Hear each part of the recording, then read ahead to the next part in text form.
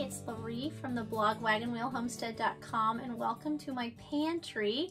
This is our canning pantry. It's really the hub on the wheel of our homestead as far as all the food is concerned. So this is where we put up most of our food. It's where we keep it. And from here, then we are constantly drawing out of it for all of our cooking. I've had a lot of requests for this video, and so I just wanted to bring you along and show you everything I keep in my pantry. This is a 12 by 16 room that we put in our basement when we built our house, and the floor is not heated, so it stays fairly cool. We do still need to add some vents to the outside, which will help keep it even cooler. But it is an insulated room in the corner of our basement.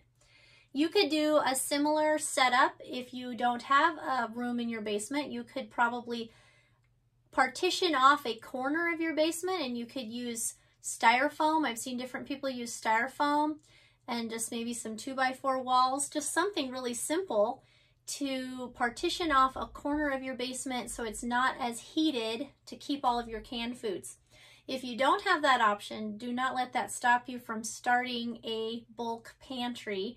I had quite a warm basement for a long time in a house that we lived in previously because that's where the heater was located. It's the only place that I had to store my canned food and it stored just fine.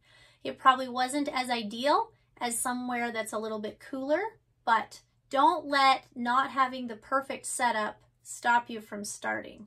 So I grew up canning when I was little girl and then when I started my own home after I got married, I learned how to can a lot of more things and I've slowly weeded out recipes we don't like over the years and added in things that we do until now we have a full working pantry that we could live off of for well over a year without having to go to the store. So I want to show you that. Groceries are very expensive nowadays and it's really important to know where your food comes from and to develop the skills to be able to feed your family without being dependent on the modern day food system. I'm really thankful we live in modern times.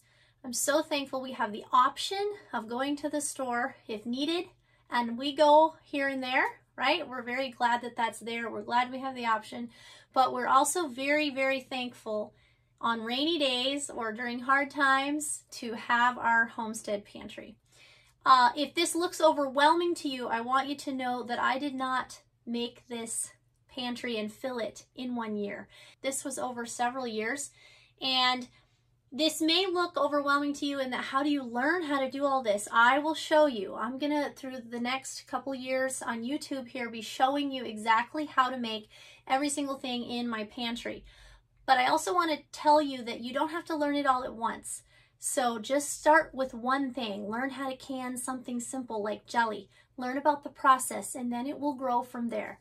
So don't let this be overwhelming to you. I hope that it is an inspiration to you, and I hope that you will ask me any questions that you have down in the comments so that I can uh, help you get started with your own homestead family pantry. So right here, I will try to show you each of these things and hopefully you can see. Right here is all of my bulk herbs and spices. So right here is some vanilla. I actually just started this the other day. This will set here for a few months and then we will have vanilla. So these are just vanilla beans that are soaked in vodka. There's lots of spices. I buy all of my spices in bulk. And one thing you can do when just starting a homestead pantry is to start buying your spices in bulk. This is cumin. I can get a pound of cumin, which is a little bit more than this in this jar. I can get a pound of cumin for not much more than I can get a little tiny container of cumin at the grocery store. So not only is it cheaper, but then I have it. I don't have to constantly be thinking, oh dear, I've got to go to the store. I don't have any cumin, right? That's not an issue once you get your pantry up and working. I have dill, mustard seed, so many things in here celery seed. This is juice, home canned plum juice. So this is from wild plums that grow here in Nebraska. Onion flakes. I'm not going to go through every single thing in here because there's a lot and I'd have to dig clear to the back. So if you have questions, let me know. I have stuff to make tea, immune boosting tea in the fall and winter. Let's see, turmeric, chili powder, taco seasoning, peppermint tea, all my bulk herbs and spices, citric acid for making cheese, yeast for making bread. Now, I make most everything with sourdough, but I do try to keep some yeast on hand for making bread. Uh, oregano. This is some lavender that I grew. I just haven't gotten it in jars yet. I'll tell you, I did a little straightening in here to show you the pantry today. But this is going to be a real life look at a real working pantry. We are always in here getting food. I send the kids down to get jars of food and bring to me. So it's not always perfect, but it works really well and it saves us thousands of dollars. So I want you to know that it's it's a real working pantry. This is this is what they look like. This is thyme. Okay, that also needs to be put into jars. All right, let's move on to some of the food. This is our favorite home canned vegetable soup. And I will share this recipe with you this fall when we have produce from the garden and I can show you how to can it. What we do is just brown some hamburger and dump a jar of this in and in less than 10 minutes you have an amazing soup. Serve it with sourdough bread and you're good to go. This is what we call fast food. And every time we make it, we think, man, why don't we eat this more often? It's so good. So we have lots of half gallon jars of that. We make it in half gallons for our family because we are a family of seven. Let me see what else I have in here. Garlic powder, onion powder, right? Uh, salt, pepper, those are the basics. It's really important to always remember to include salt in your food storage. I have back here a big bucket of salt, Redmond salt. All right, this is canned venison, okay? You can also can beef the same way. It's very, very simple, and I will show you that also. You just raw pack it into jars, and then you put some kidney fat from beef on top, pressure can it for, I believe, 90 minutes. I'd have to look it up. And there you have meat. This is really nice to have if you forget to thaw something out for supper. Or what if your freezer goes out? Right? We have canned meat. We can make lots of different things. Soups, stews. You'll see me make beef and noodles with this a lot. It's super simple and super easy. Same thing with chicken, canned chicken. So if you stay in contact with people that have chickens, a lot of times they will have old hens that aren't laying anymore and they don't know what to do with them. They just eat feed and like, what do you do with them? So sometimes in the fall before winter, when they start to quit laying, you can find people that will give you their old hens. And you cook it up and cook them up either in the oven or in a roaster. Pull the meat off the bone put it in here pressure can it for again I think 90 minutes. So it is it does take a while but this is so nice to have because you can make so many things with this canned chicken and it's easy and ready to have on hand. The other thing then that I do is I take the bones from the chicken, put them back in the roaster, and turn it into rich, nourishing bone broth. And I can that as well. So back here in pints, I have all of my chicken broth. So I've got about 200 pints of chicken broth on the shelf because we happened to get uh, quite a few chickens this last fall from some people and so I was able to make a lot of broth. So I won't have to do that every year, but um, definitely whenever you get the opportunity to make something in bulk and make a whole bunch of it, do it. There is way more food in this pantry than we could ever eat in a year. That's by design because we live in Nebraska. There's oftentimes hailstorms that come through. There can be late frost. There can be early frost.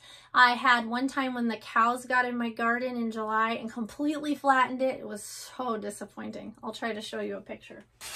And it didn't matter because we still had so much in our pantry from prior years that it was okay even though we lost the whole garden that year that the cows got in. So canned food keeps a lot longer than you think it will. So, all right, let me see what's next. Let's finish this side. Okay, I have down here some potatoes. They are starting to sprout. I have my potatoes and my onions stored in here. These are my red onions. Red onions keep the best. So if you're planting your garden, definitely plan to plant some red onions for keeping. These are the yellow Spanish sweet onions. They also keep very well. You can see one is sprouting here. It is not a good idea to keep your potatoes and onions in the same room because they make each other sprout. But this is the coolest place that I have in my house. My house has uh, radiant in-floor heat from a wood boiler system, which is amazing, by the way. But everywhere else in my house is warm all the time, and I really don't have a good place to keep my potatoes and my onions. Eventually, we're going to build a root cellar, and I will probably keep my onions in here and my potatoes out in the root cellar, or vice versa. For right now, this is the best I have and I'm making it work. So my potatoes are starting to sprout, but we're using them fairly quickly for mashed potatoes. I even made baked potatoes the other day. just break the sprouts off, put them in the oven, and they're just fine. There's nothing wrong with them at all. So these are all potatoes. This is all things that we grew in our garden or purchased in bulk. So if it's a vegetable or a fruit that's in this pantry, we grew it here in our Zone 4 garden in Nebraska. All right, I have a big box of canning lids. These are the ForJars canning lids. I bought these on sale on Black Friday in preparation for this coming season. I also have a lot of empty jars that I need to bring back and put in here, but I didn't do it before I showed you this tour because it's harder to see everything when it's all packed full of empty jars. What we try to do is put empty jars back next to the same kind of jars that are full so that when it's time to refill the pantry, we can just say, okay, we need 25 quarts of salsa or whatever we need.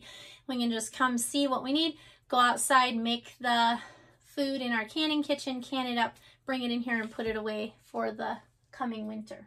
So, all right, come on down here with me. This is something new that I just made last year and I'm so excited about it. This is my apple cider vinegar. It's made, it's all organic, of course, made with the apple cores and peels off of the apples in our orchard. And you can see it has a really nice mother culture developing down below. This was made in September of last year, so we're excited about that. By the way, I will not use that apple cider vinegar for canning because I won't know the exact acidity level without testing it but I can use it in cooking and medicinally. So it's really great to be able to make your own apple cider vinegar. This pantry tour is being done in the end of February. So we have been eating out of this pantry all winter and you can still see that there's an awful lot of food here to eat. We also use this room to store all of my soap making supplies and the soap and candles for my soap making business. So there's a lot of other things in this room. It's kind of the catch-all room. We also have buckets of dry goods stored. So I've got wheat, salt, oatmeal, cornmeal, millet, flour, lots of flour. We make lots of things from flour. Up here is some of my canning supplies. These are things that I've purchased. So there's olives, cashews, mustard, baking powder and baking soda, some pectin, some rice, some flour, different things, some mushrooms. These are, this is my juicer. Again, this is just kind of the catch-all room. Lots of different things in it. All right, up here we have pickled beets. These are amazing. My kids eat these so well. There's probably about 100 quarts of pickled beets here. Green beans, dilly beans, applesauce from our orchard, glazed carrots, and these are so cool. These are canned apples. And once you try these, you'll never look back. You'll never do apple pie filling again we um, can these up after pressing them in sugar and then you can add, put them in a cake just as, you know, for an apple cake. You can use them as topping or you can put a little cinnamon and flour with them and you have apple pie ready in a jiffy. Okay, now I'm going to show you a lot of things made with tomatoes. If you're just starting out making a homestead pantry, starting out with a garden, I would strongly suggest that you start with tomatoes. There's nine things, I believe, in here that we make with tomatoes that we do not have to buy from the store. Tomatoes are easy to grow. So if I were you and I was starting out from scratch, I would definitely start by focusing on learning how to can tomatoes all these different ways and then branch out from there. So right here I have relish. This is sweet relish made out of cucumbers and zucchini. We use that for hamburgers and hot dogs. I make a cheeseburger pizza with it. I also use it in deviled eggs and potato salad. All right, here is home canned sauerkraut. So we made this with our own cabbage that we grew, turned it into sauerkraut, canned it so that we have shelf-stable sauerkraut. We love fresh sauerkraut also, but this allows us to have sauerkraut all year long. We like to have it with hot dogs. You can also make a Reuben pizza with it. Lots of different things. And a sausage and sauerkraut soup. There's lots of different things you can do with sauerkraut.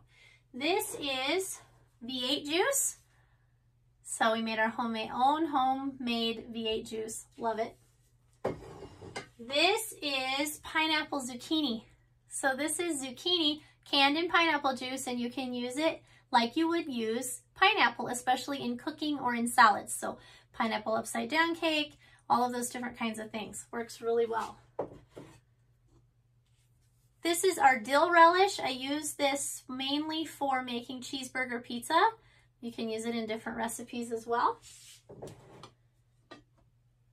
This is tomato sauce. So whenever I have an excess of tomatoes and I really don't need spaghetti sauce and I'm not sure what to do with them all, sometimes I will just sauce them and can straight up tomato sauce because if I were to run out of spaghetti sauce or goulash sauce or any of those other things, pizza sauce, I could quickly make some if I had just regular tomato sauce canned with some salt. So that's what this is. These are our favorite banana pickles. They are so good. They're like a sweet, they're a very sweet pickle. Okay, this is goulash sauce. This is a family recipe, an heirloom recipe in our family, and it's one that we enjoy very much. We eat it with hamburger and macaroni noodles. Just pour this on, stir it up, put a little cheese on top. So good. Goulash sauce, ketchup. We make all of our own ketchup. And from ketchup, I make all my own barbecue sauce. So I use this as a sauce on cheeseburger pizza. I use it to make barbecue sauce for barbecue pizza. You can use it in meatloaf. So many things you can use ketchup as a base for, and it's not that hard to make. Really nice to have on hand. Tomato soup. I usually make my tomato soup from plain tomatoes or tomato sauce, but I have a few jars for when I need it really quick of just tomato soup. All right, stacker pickles for hamburgers.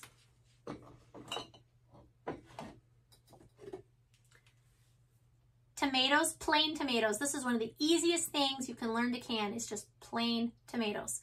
I'll show you how to do that this fall and you can make so many things from plain tomatoes. When I was a kid, we really didn't can a lot of prepared foods. We canned the basics. So plain tomatoes, plain green beans, plain peaches, those kinds of things, and we did really well with that.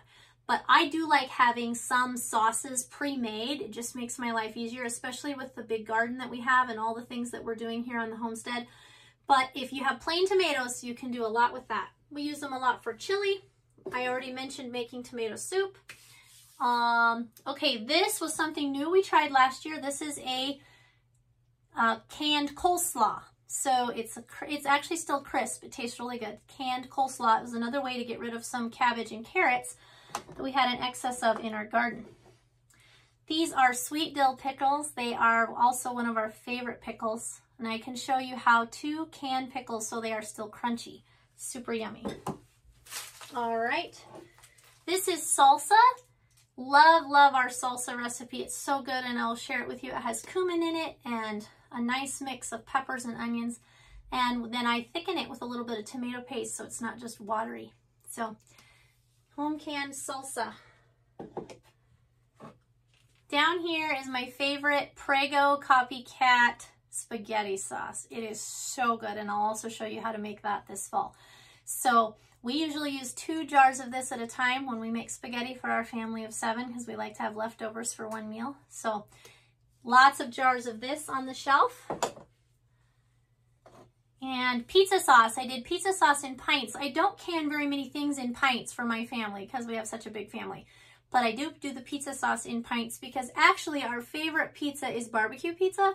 So we don't use this very often, but once in a while it's nice to make just a regular pizza or we sometimes make pizza rolls or pizza roll-ups. And then underneath I have some canners. Again, more dry food, some dry beans. Dry beans are a really good thing to have. My family doesn't love beans and rice. We keep some on hand because we could eat it in an emergency, but I don't make a lot with beans and rice. So if you don't like beans and rice, I would not suggest you buying 200 pounds of beans and rice and putting it in your pantry. Yes, it would help you in a time of starvation, but if you don't regularly cook with it and if you're not used to eating it and you don't know how to fix it, it's really not going to be that fun to eat. So I suggest that you put things in your pantry that you're actually going to eat. Make this a working pantry. Eat out of it. Learn how to cook with these things that are here so that in the event of an emergency or if you don't aren't able to get food from the store for whatever reason, you can just keep going right on as you normally would. I'll take you around to the other next aisle and I'll show you what else we have. Okay, so the middle section of this pantry is going to be the same, all the same all the way across. So I already showed you on the other side the tomato products and they come all the way across to here. So there won't be a whole lot for me to show you on this shelf. Here's the sauerkraut I made with some red cabbage in it. Isn't it pretty?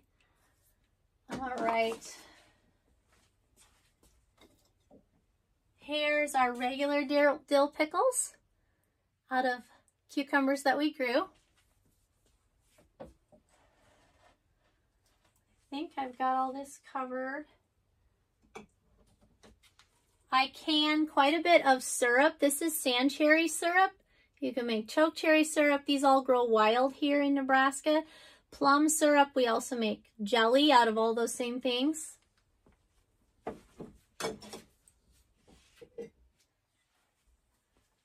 We had a bumper crop from our grape harvest last year. And so we have 140 quarts of grape juice concentrate so you dilute this one to one with water and a little bit of sugar and you have organic grape juice to drink. You can also take this and make jelly. So oftentimes in the busy canning season, I don't get things like jelly made. I wait and do that in the winter. If I can just can it up as juice and then have it for to do different things with, that's usually what I try to do.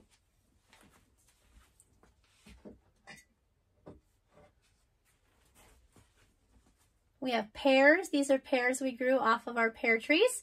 I also have some plain carrots back there.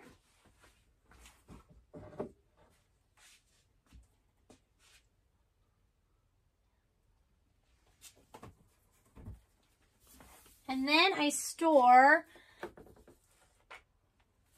then I store a lot of squash and pumpkins that we grow here in our pantry. So this is butternut squash. These are sugar pie pumpkins. We had quite a bit of delicata squash and buttercup squash, but those do not keep as long. So I don't have any of that now at the end of February, but as you can see, there's plenty of food in here to last us a very long time. So we have slowly gotten to the point where the things that we purchase at the store that, that list is much smaller than the things that we have here on our homestead, and it's made such a difference in our grocery budget. We've just finished a 60-day pantry challenge where we have eaten nothing from the store for 60 days, and you can't even really tell that we've made a dent. So every year now, what I will do is just keep this full. And if we get a year where it's an early frost or we get hailed out, then we just won't put up as much food that year, if any, and the following year we will make up for it by putting up excess whenever we can. So I hope that this has been inspiring to you and I hope that you will follow along, like and subscribe our, to our channel so that I can show you how I use all of this in our cooking, all the different things that we make. We do not eat this the same foods every day. It's not a boring diet that we eat at all. So we also have three freezers. We have beef, venison. We put up all of our corn in the freezer, broccoli and cauliflower in the freezer, corn and broccoli and cauliflower are not very good canned. But we try to can what whatever we possibly can because if we were to lose our freezers, we hate to have all of our food in freezers. Plus, it continually takes electricity to keep those freezers running. So we try to can as much as we can. Um, I also keep some tallow in the freezer. Sometimes I have it some shelf-stable canned tallow that we've made here as well. So that's where we get all of our oil from. We do not produce our own wheat for flour.